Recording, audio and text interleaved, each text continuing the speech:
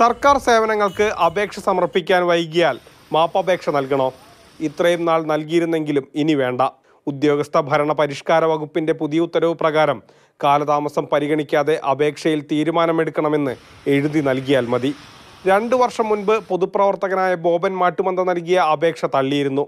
തുടർന്ന് മനുഷ്യാവകാശ കമ്മീഷന് പരാതി നൽകിയതോടെയാണ് പുതിയ ഉത്തരവ്. മാപ്പപേക്ഷ സ്വീകരിക്കാൻ കലക്ടർ ഉൾപ്പെടെയുള്ള ഉദ്യോഗസ്ഥന്മാർക്ക് യാതൊരു അധികാരവുമില്ല. ഇന്ത്യൻ ജുഡീഷ്യറിക്കും ഇന്ത്യൻ പ്രസിഡന്റിനും മാത്രമാണ് അത്തരം അവകാശങ്ങളുള്ളത്.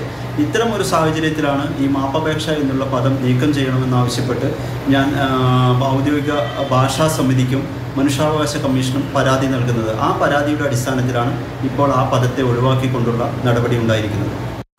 പൗരന്റെ അന്തസ് വർദ്ധിപ്പിക്കുന്ന ഉത്തരവാണ് പുറത്തിറങ്ങിയിരിക്കുന്നത്. സേവനം ലഭ്യമാക്കാൻ ഉദ്യോഗസ്ഥർക്ക് മുൻപിൽ മാപ്പപേക്ഷ നൽകേണ്ടതില്ല എന്ന ഉത്തരവ് ചരിത്ര പ്രാധാന്യമുള്ളതാണ്. മാതൃഭൂമി ന്യൂസ് പാലക്കാട്.